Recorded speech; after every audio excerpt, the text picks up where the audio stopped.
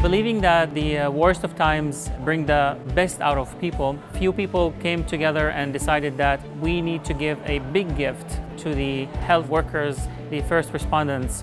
When we reached out to the restaurants, the response was overwhelming. We have 12 restaurants who provided 1,250 meals. Uh, we also have 1,200 sweet boxes. We got food for the health workers. We're trying to thank them for the great job that they do. And that's the least that we can do as uh, restaurants. I hope they stay safe and they help as much people as they can. We might not be able to make it equivalent to the hard work they're providing, but the least we can do is to help out and show the community that we all want. I've spent some time with the team members as they sit down to grab their food. You can see them smile when the masks come off. So not only does the food sustain our bodies, but the mere fact that there's camaraderie in that room helps drastically.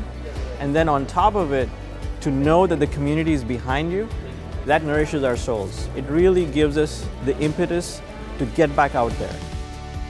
So we just delivered over a thousand masks here to Parkland Hospital, and this has been an ongoing effort to all of the hospitals in the area. Not only are they donated, but some of them were actually handmade by our brothers and sisters. Even if we can't be in the hospitals with them, doing the work that they're doing, we're going to be there right behind them as the Muslim community to help them serve that divine mandate of mercy to everyone that's around them. On behalf of Parkland and all our team members, I really want to thank the Muslim community of DFW this shows that we are in this together and that there is humanity and we are one community.